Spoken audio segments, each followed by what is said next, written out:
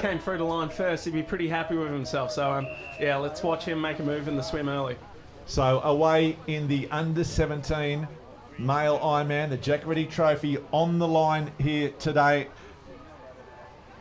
And out in front early on is the young man. He is a great swimmer from the Evan Prinsloo from the Fremantle Surf Lifesaving Club. He can swim. He swims like no one else in this field at the moment. So Evan Prinsloo out in front. In the middle there, you'll have you and you and um, Scrivens. Scrivens. It is Ewan Scrivens from the Sorrento Surf Life Saving Club. Tex. Uh, Tex Cross. So the ones we talked about early, except for Eben. Eben will be a smoky in this. He'll run it hard all the way to the end. And one of the big names we spoke about earlier, Jules Frednay, you can see him top of the screen, just tucking in behind Tex Cross. So Jules, I reckon, probably the best board paddler, or the best board paddler in this race, but he can't afford to get squeezed out by some of these big swimmers. And, and you know, Jack, I'll talk to you about it. If you're uh, someone racing in this and all of a sudden you've got uh, Evan Prinsloo setting a, a, pace that you're not used to, does it throw you off your off your own race, or do you need to try and just concentrate and calm down and, and play your own game plan? Absolutely. It's a bit like an elastic band. You've really got to not allow that band to stretch too far, otherwise it will snap and you'll lose a little bit of that um, wash that you can see coming off their legs. So um, for Jules Frednay, he'd be looking to not necessarily panic, but swim as hard as he can, knowing that he's got that really strong back end. Yeah, I'm really surprised at the moment. Just seeing the white cap with the black and red stripe down at the City of Perth Club, probably fifth or sixth at the moment. I don't think that's ideally where he'd like to be. Tex Cross is going to open up, and so yeah, as you can see, really, really, he cut across there, so that's kind of helped him out. So he's moved up into fifth spot at the moment. Jules Frednay, the Frenchman from the City of Perth Surf Lifesaving Club, but out in front, the young gun Tex Cross had an amazing pool season. He's enjoying his surf life saving and he is well out in front now. He's probably opened a five or six body length lead and this could be the one. This could be the moment where he takes it out, to be honest. I, don't, I can't see him being caught from here. Yeah, well, as we've, we've spoken about the, the strength of Jules Frednay on the board, he won the gold medal in the open male board relay yesterday. Only 17 to win an open male board relay. He can paddle. We saw that he won the board uh, over at the interstates, but Tex Cross probably put two or three body lengths on. I think it might be Ewan Scrivens there from Sorrento hanging on in second place. Ebden Prinsloo uh, there in third, and then Northcott again in fourth. Jules Frednay from the City of Perth in fifth. So great racing from these youngsters, all still very tight. Brody Lee as well. Don't forget he's in there as well. So it's, and we've got Christian Seidel, Sammy Hicks. They're a couple of the quick young guns, and Flint Skabinski from um, the Cottesloe Surf Lifesaving Club. But this will be very difficult. I know who you're going to be presenting this uh, Jack Reddy Trophy to at the moment, and it is it's going to have a cross and a T in it and an X. So that'll be the winner. I'm sure now he has opened up and monstered this field. Hayden's gone early. Jack, has he called it too early? Is that an unassailable lead, or you think these guys can still pin him back? I don't think it's an unassailable lead at this stage in the race. It just really depends what these guys can do in the last 50 metres of this swim. You can really see that pool swimming stroke coming through here. He's not looking up too much. He's just breathing nice and calmly. He looks very relaxed and very strong. But we've still got a board paddle and two runs to go. So let's see if he can run as well as swim. So not in this environment, you don't often see the rest of the field quite vulnerable as they are now, and they are vulnerable because if he gets a little squirt here, a little bit of a wave, the chandelier of fear will drop on his head. He'll be out there, he'll be gone, and that'll be it because he can transition so fast. There's a little bit of a lift that's going to come for him. I don't know if it's going to give him too much. He's already up on his feet and running. If he needs to take it, he can. He'll just push that little bit of more bonus, another yard or so that he'll take.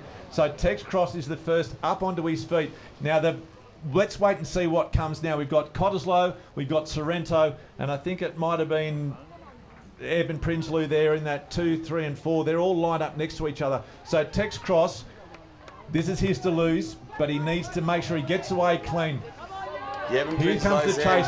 Scrivens. Oh, he's had a massive transition, has Jules Fredinay. Eh? He will need to have the paddle of a lifetime. He'll just pop over this, and there he goes, Cadence Supreme. Look at that. Yeah, so a great transition. Spaghetti so, arms. So Jules Fredinay eh, now is in second place. He's gone from fifth to second on that transition. He's a great competitor, a hungry competitor, and I think he's already closing the gap on Tex Cross. So at the moment we have Tex Cross. He's in the Northcott. So on our screen, that's second place in the middle of our screen from the City of Perth Surf Lifesaving Club, Jules Fredinay. To the left of him, you can't see him at the moment, Evan Prinsloo. He's having an amazing iron. He's third. He's in that bronze medal position. Fourth place is Ewan Scrivens from Sorrento. A lot of these guys might have cooked themselves yesterday, and that could be the problem. I'm going to call it. I think Jules Fredinay is rating higher than Tex Cross. I think Jules Fredinay might have enough in the tank to catch him. Now, Jack, in this situation, would you rather be leading or chasing? What what gives you the better motivation? Do you think?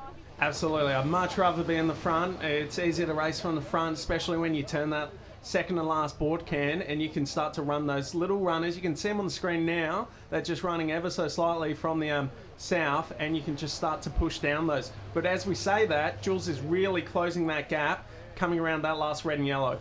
So Jules Frenonnet in second place. Tex Cross from North Cottesloe in first. Tex Cross blitzed the field in the swim, but Jules Frenonnet, the best board paddler in the field, is now chasing Tex Cross. At the moment, Cross is just starting to hang on. There's that live vision. Tex Cross, the head down. He knows that gold medal, that Jack Reddy trophy. That's the one that he's been aiming for since he was a young little nipper. Jules Frenonnet as well, still chasing, slowly closing the gap.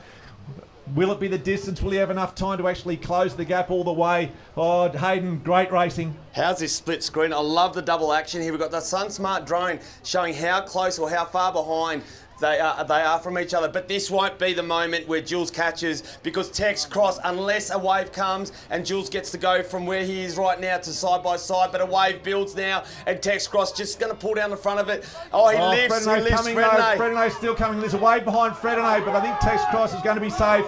Tex Cross is going to get on that sand and take out the under 17 male Ironman and Jack a worthy winner. Absolutely. Look at him. He doesn't look too cross now, does he?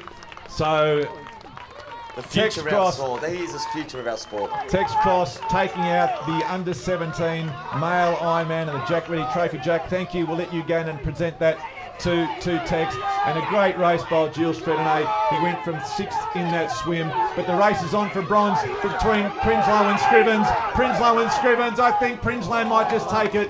He does hold on, Prinsloo. What a great race that was by Ewan Scrivens, fourth. Um, but we have a we've, we've, got a guest in our commentary in our midst at the moment. Uh, it's the president royalty. of Surf royalty. Royalty. Royalty. Royalty. Yeah, absolutely. He's just been dropped in the uh, royal van. Uh, we've been joined in commentary by Surf Life Saving WA President Craig Smith-Gander. Craig, welcome to the commentary, and, and what a day of racing we have. Yeah, thanks, Hayden. It's really good to be here. I've been here since the actually started the Lifesaver Relay, which was uh, a ton of fun and just a fantastic race. And it's uh, it's good to see how tactics play out. City of Perth's tactics wound up being better than North Cots. You know, they they hit the beach in first place, but having a male runner rather than a female runner was the difference, and that's why that's such a beautiful beautiful event. Because your tactics always come into play, and it's how you set your team up that works out who's going to win. And you must be proud of your team and what the activation you've created here, not only through the team in the operations team and the marketing team, but also all the officials and all the volunteers that make this event so successful. Yeah, I was talking to one of our officials just before. Um, she's from Darden, up down in the down in the country, and she was telling me this is week seven in a row after you include all the the Nipper qualifiers and all those other events. And uh, bless her, she went down to um, Willie Abrupt last night for a wedding and turned around at two o'clock this morning and drove straight back. And she's still standing, so good on her. And look, that's just an indication of the sort of officials and the management team that we've got here that they work incredibly hard to deliver these events for the athletes. And if I just interrupt, Craig, we've got Cam down there with the winner, Tex Cross of that under 17 Ironman man final. Certainly do. Tex, congratulations, mate. Well done. Thank you. Led from the start, finished on the go, mate. Very fit. I said to you off here, you could probably go again. You're that fit. oh, I don't think so. That hurt a lot. Um, been working on my swim a lot, which really paid off on that first leg. Got myself a lead, but Jules is always a great paddler, so I had to really watch out for him on that um, board leg at the end, but got there in the end, which was great. Just saw there's a little bubble of a wave behind. I know you had to look look behind your shoulder. I think you could hear the guys yeah, on the commentary too. Yeah, I could hear that he had a little bump um, behind me. Um, which got me a bit nervous, but just got off the board and got out the beach quick. Well done, Tex. How does that sound, mate? Gold medalist. Oh, it's awesome. Um, any gold medal you get at a state was amazing. Um, to um, try and get those medals, so to come out on top is great. And also added bonus too is the you know the Jack yeah. You know, trophy that adds a bit of nostalgia as well. Yeah, it is. Uh, one of my best mates, Johan, won it last year, um, so it's good to keep it at the club. Um, and yeah, it's great nostalgia for, for the club. Well done, mate. Congratulations once again.